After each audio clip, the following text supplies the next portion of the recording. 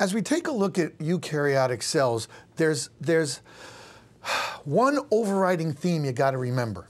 And that theme is this compartments, compartmentalization.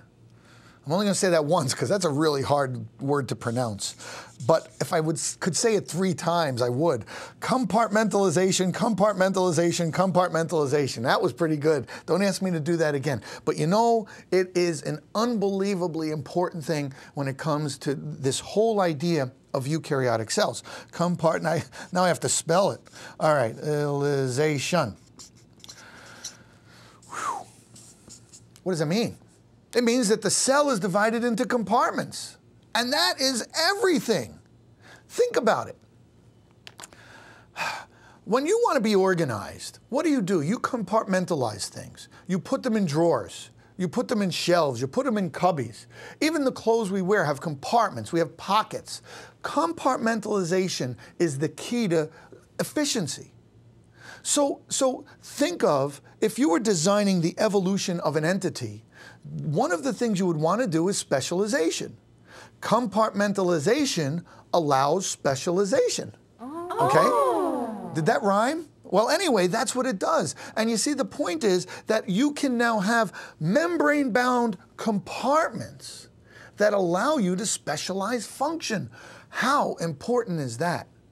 That's unbelievable. It's like the mirror of society. You know, we have factories and we have power plants and we have grocery stores. Our society is compartmentalized. Now, I know this isn't a course in sociology, but think about that. And it's the same thing in your cell. We have a specialization of function based in compartments. So I hope I've made my point about that. It's very, very important. The other thing is, all eukaryotic cells have this compartmentalization, as we'll see when we compare plants and animals in just a second and see some of those, a, a quick look at some of those compartments. But before we look at all those compartments, because that's a unit unto itself, I want to talk to you about why we don't have giant amoebas and what that has to do with compartments. All right, you see, we've already, I'm talking about something called a cell membrane or a plasma membrane. And we're going to see that in a lot more detail later on. But all cells have, cell, have membranes and have membrane bound organelles. And the plasma membrane is what is referred to as the outside of the cell. Plasma membrane. Let's take a look at an animal cell. And you can see that this plant cell, which is not my animal cell, it snuck in there. You know, you can't trust plants. All right, well, there's the plasma membrane, okay? And you can see that this plasma membrane has, uh, it literally surrounds the, the animal cell. Now, before we move to the plant cell, I want you to look at all of the organelles, the parts of this cell. And indeed, they look like they're bound with membranes too. Compartmentalization all over the place, all right? Just to make sure you understand this, plant cells have cell membranes too.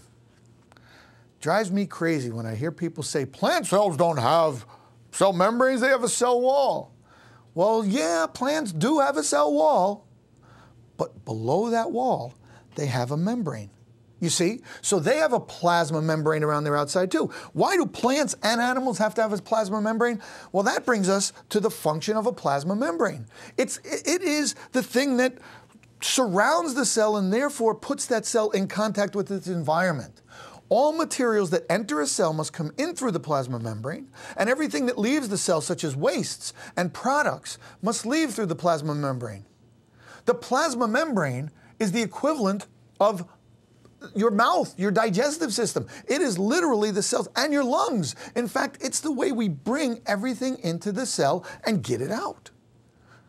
So, what does this have to have about giant amoebas? You know, one of the most frightening stories I ever read was written, it was a short story written by Stephen King, and it was called The Raft. Did you ever read that one?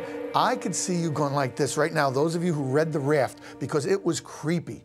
You know, these guys are out on this, this, this lake in the autumn somewhere up in Maine, and they're on this raft in the middle of a lake, like so many, you know, experiences we've had. And it's deserted and it's beautiful and it's autumn and they're up there. I think they skip school or something. You had to have a little bit of a sub theme to it. And, and they're on the raft and they notice this giant blob in the water, like an oil slick Ah, but in my mind, it's a giant amoeba, which tells me that this is fiction because you can't have giant amoebas. But hang on, just to finish the story. Well, the, the end of the story is it eats them all.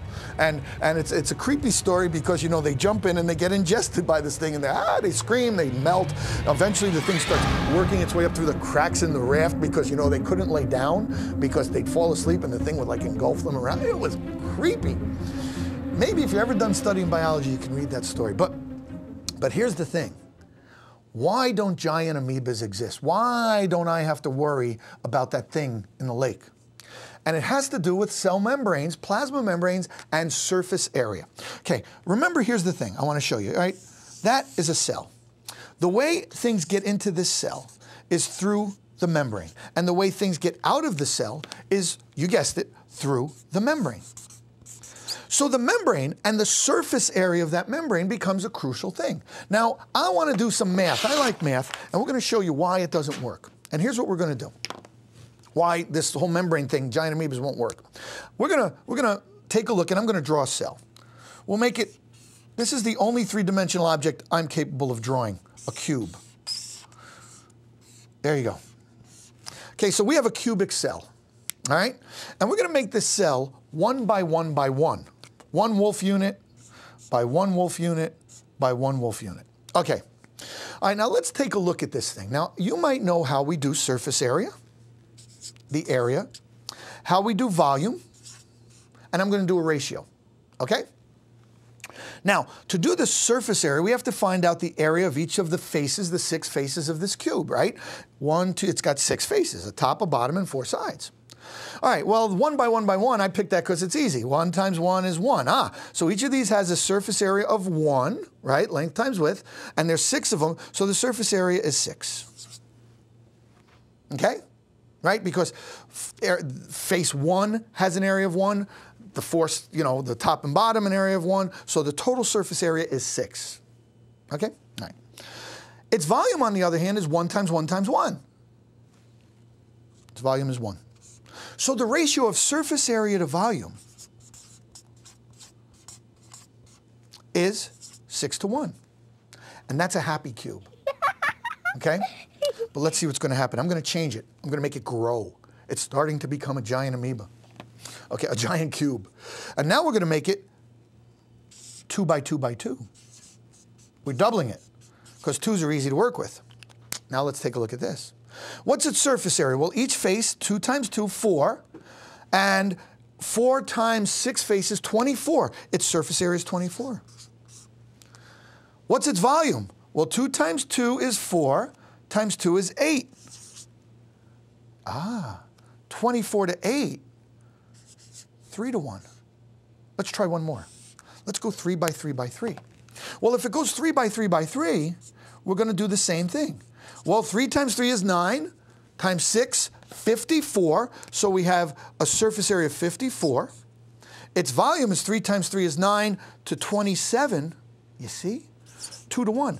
As this thing gets bigger and bigger and bigger, it proportionately has less surface to take food in. It's like me making you a thousand pounds and keeping your making your mouth smaller and smaller. You can't get enough food in there to feed that giant body you see? And so it all comes down to surface area versus volume. Cells, you know, this whole idea of surface area, unbelievably important. And so we come to this concept of what is the cell? What are the structures of a cell? What does a eukaryotic cell do? What are some of the things it does? And that's where we're going with the rest of the story.